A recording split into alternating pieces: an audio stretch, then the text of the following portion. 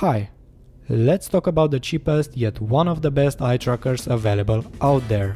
I really hope you're just as excited as I am because every time I upload a clip using an eye tracker, I get stormed by people asking how I managed to move my in-game camera. So guys, today we're going to do an in-depth review of Beam Eye Tracker. So, what is Beam Eye Tracker? Well, in short, it's an affordable eye tracker.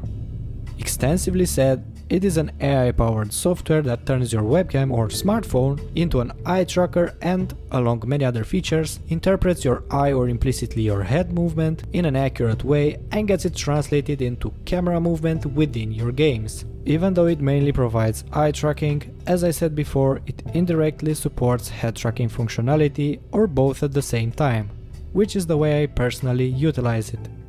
Talking about my specific use case, I normally use it with driving simulators like Euro Truck Simulator 2 and trust me, it makes the whole experience so much more immersive you won't be able to get back to mouse or button camera control. As I have always said, it's not only more realistic but it's also highly practical, it allows you to drive, shift gears, check mirrors, enjoy scenery, pull out of junctions or park easier for example.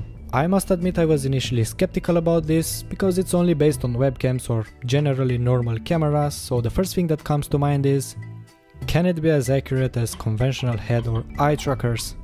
Well, I haven't tested all of them, but especially considering the overall low cost, Beam Eye Tracker is surprisingly good.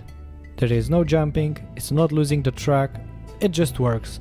And the good news is, for those who are not yet sure about it, you can try it out for free by using the Steam demo and by following my tutorial. So again, very satisfied with the tracking, especially at this price point. Speaking of which, you can get Beam Eye Tracker both on Steam and on their website for roughly 30 bucks. But if you're going to use the link in the description and this discount code, you will benefit from a 10% price cut. But keep in mind, this offer is only available for the next 10 days. By the time you're watching, there should be a detailed step-by-step -step tutorial on this channel, so I will leave a link in the description, but until then, let's briefly talk about how this technology works. First of all, you will either need a webcam, it can be an internal camera, like you would typically find on a laptop, or an external webcam just like the ones listed in the webcam recommendation list on their website.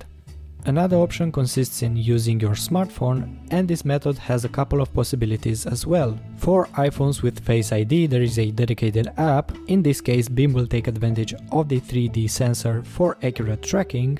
The other option is an Android device running Android 14 or later, which is going to have a built-in webcam feature that will allow your phone to be natively recognized as a webcam by your computer.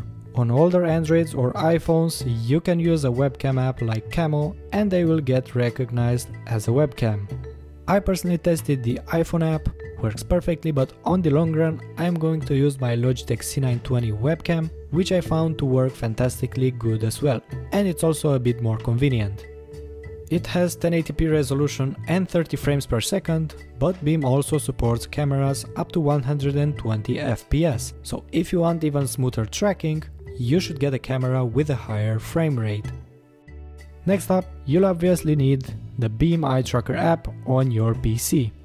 Just as I said before, Beam is the smart, AI-based software that will interpret the image from your webcam and translate that into accurate tracking. Once it's going to track you in a reliable way, it will hand the signal to the next step, and that being OpenTrack. OpenTrack is a bridge between Beam Eye Tracker and the game itself. It's completely free and again will take the accurate eye and head tracking signal from Beam and summarize it into a head tracking movement on all the axes that's compatible and will be sent out to the game. More details about OpenTrack in the tutorial.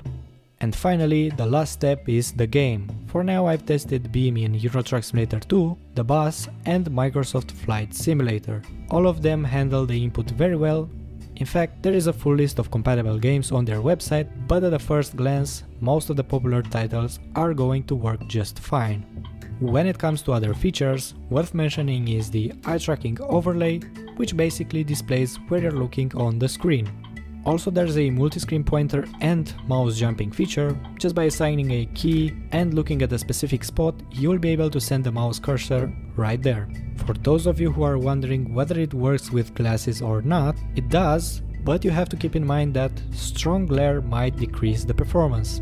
In conclusion, if you want to turn your webcam into a VR-like setup and have the most realistic and immersive gaming experience, just follow my step-by-step -step tutorial and give Beam Eye Tracker a shot. Also, don't forget about the limited time offer. For the next 10 days, you can benefit from a 10% discount using this coupon code and the link in the description. From now on, you will see this software in action throughout most of my videos, because, as you might have guessed by now, Beam Eye Tracker is officially our sponsor. So that's about it, until the next one, stay tuned.